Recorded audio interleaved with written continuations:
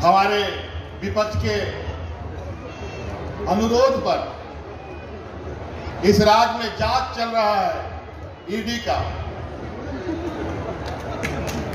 और विपक्ष के अनुरोध पर हमें भी बुलाहट हुआ है। लेकिन हम उस बुलाहट से घबराते नहीं। हमें भी किसी कारण से बुलाया गया है यह दर्शाने का प्रयास किया गया है कि देखो ईडी कितना ताकतवर है। सोनिया गांधी को बुला सकते हैं, राहुल गांधी को बुला सकते हैं तो मुख्यमंत्री को भी बुला सकते हैं। कोई बात नहीं। उसका जवाब भी हम लोग देंगे। और इससे अगर इनको लगता है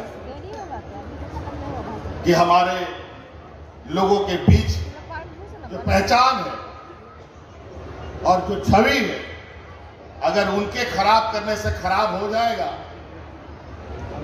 तब तो हो गया। तो कहानी खत्म।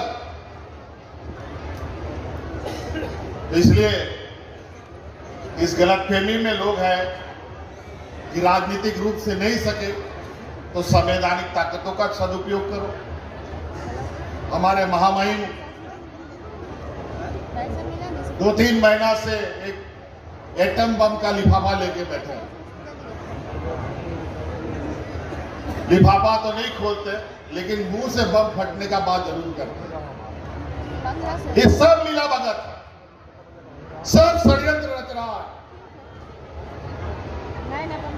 इन षड्यंत्रकारियों का षडयंत्र का जवाब इस राज्य की एक एक जनता देगी।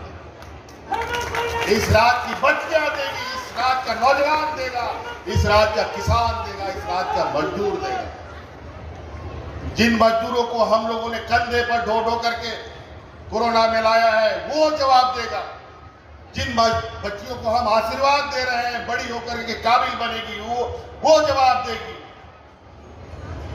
उन बुज़ुर्गों, वो बुज़ुर्ग को जवाब देगा जिनको आप लोगों ने 20 वर्षों तक रुलाया